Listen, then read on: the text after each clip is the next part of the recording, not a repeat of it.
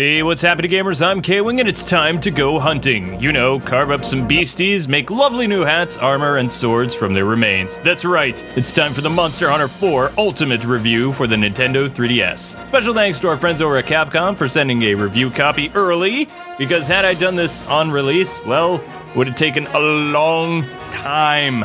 I am 35 hours in and still haven't scratched the surface of this game yet. It is beyond meaty. Now, the game begins with a beautiful cinematic introducing us to our hunter on a sandboat type thing. Anyway, the entire game actually revolves around this narrative to tell its story and showcase the monsters, which I'm not gonna lie, so cool.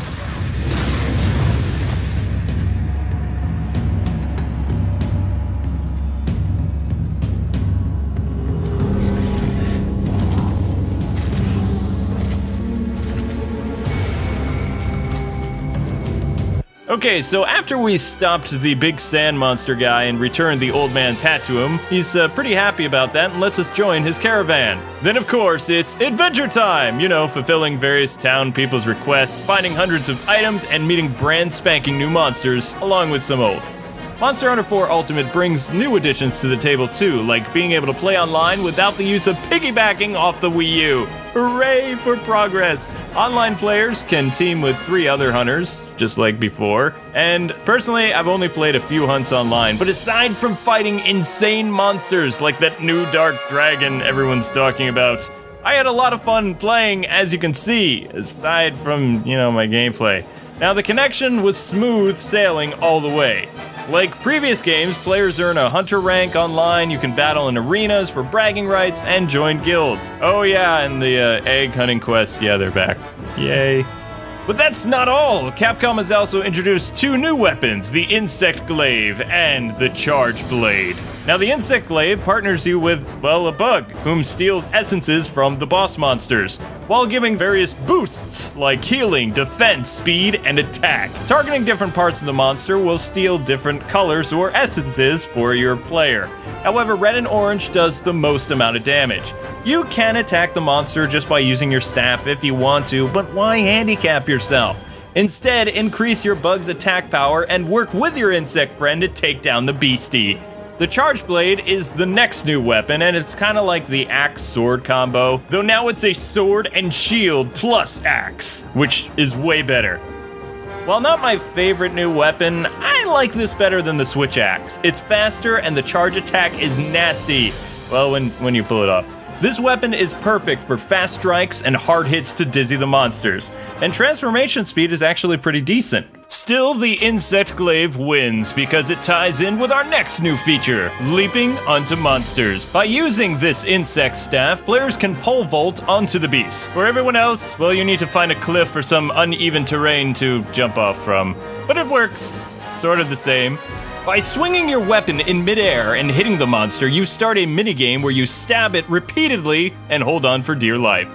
I really do love this new feature. Unless, of course, you're playing with friends. Trust me on this, when one of your teammates is riding on said monster, don't attack it. Dance, sleep, do whatever you have to do, just avoid it, and you'll still keep your friends. Well, internet friends, anyway. Aside from jumping on the monsters, Capcom has changed the environments to be more vertical, creating the biggest environments ever for the series. Literally! Though the water levels introduced in Tri and Ultimate 3 are now gone. Anyway, the focus of this game is basically parkour hunting, running, climbing, and lots and lots of jumping. In fact, it'll make you think of the song Jump. I'm sorry, but that reference totally applies here. Monster Hunter 4 has a lot of improvements over the previous games. The camera works better, and on the 3DS no less. I know, right?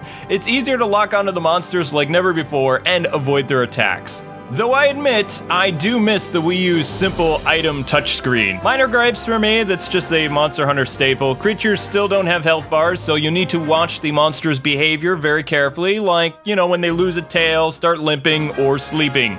Otherwise, during a capture quest, well, you might just kill it a lot. To be honest though, I really enjoyed Monster Hunter 4, minus the egg quest, because they're still boring and I just hate fetch quests so much. Oh, and I did fall asleep grinding some monsters by myself because the music doesn't have that same gravitas that Tri did. Seriously, it put me to sleep. What more do you want from me? I would strongly recommend collecting armor online with your friends instead to counteract my argument, and just use armor cores to level up, you know, the Great Jaggi set. You'll be fine. Unlike the previous installments, the single player experience wasn't too bad, and the cutscenes was such a great way to introduce all the new monsters. It makes the hunts more personal and exciting when, you know, they have their own introduction. Village quests and shops are back too, but they've changed a little bit for this game. Instead of staying in the same town the whole game, you're part of a caravan that travels all over the place to new locations. And just like typical Monster Hunter, upon finishing said tasks, forging better armor and weapons, you move on to the next zone, except now you literally move to the next zone. Also, just like online play, Capcom has added more crazy monsters in free roam, or as they call it on the 3DS, Expedition Mode. Here you can face beasties up to G rank. Yes, G rank. Don't count on slaying these things until you're super OP though, alright? Instead, try and finish the subquests and run for your life! Because on this open hunt, you could run into many of them at once. I've lived long enough to like uh, injure one guy and see him flee, and then another guy comes out of nowhere and kills me. Still, there's lots of shiny things to find and G-rank weapons too. And yep, that's right, G-rank items are back as well. And I'm gonna stop there. Yes, I didn't talk about the new monsters or the cats, DLC, etc. Why? Because I'm going to be playing the whole game on my LP channel. This is but an appetizer. The main course is coming soon. Besides, I haven't even customized my cat yet. He's still like a level 13, I think, and does fine, even with the crappy gear he has, so he doesn't have a tank yet, though. Yes, you get tanks. In closing, Monster Hunter 4 Ultimate is the best entry yet. Other than some of my minor gripes, which most people could probably counteract anyway, Capcom has actually improved the series and released it for a handheld no less. Usually the handhelds, like the PSP, leaves one feeling unsatisfied while hunting. Not on the 3DS. Oh, and this Monster Hunter game also gets an additional point for all the cool DLC coming and past monster quests coming soon as well. Monster Hunter 4 Ultimate gets a 9 out of 10. Oh, and uh, before I leave, Monster Hunter 4 Ultimate is perfect for beginner hunters and extreme veterans alike. So it has something for everybody, and you'll find hours of enjoyment no matter what your hunter class is. Now, if you'll excuse me, I need to see a blacksmith about some upgrades. I wish you all good hunting.